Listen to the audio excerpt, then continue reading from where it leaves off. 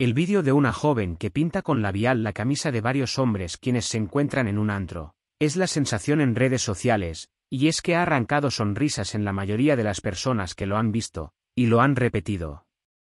En el vídeo que fue compartido en TikTok, se puede ver a la joven cómo va manchando la camisa con labial de los hombres que se encuentran en el antro, en su mayoría los que visten camisa blanca o de color claro.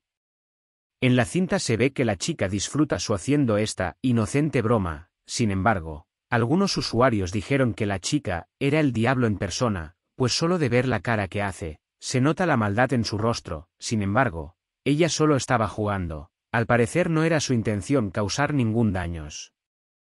Al parecer, todo inició como un accidente, cuando la joven recién se había aplicado labial y chocó contra la espalda de un hombre de camisa blanca. Después de darse cuenta de lo bien marcado que se veían los labios, comenzó un reto para marcar a más hombres.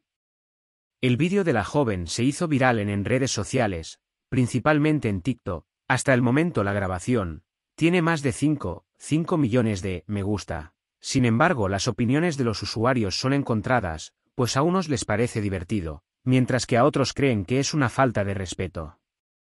Tan solo hace falta ver los comentarios de algunas personas, quien dicen, ¿a cuántas parejas destruyó? Imagínate que tiene novia y ve eso, el karma sí existe y cuando cobre factura, la quiero ver riendo de emoción, ¿esto no será acoso? Es el diablo en persona.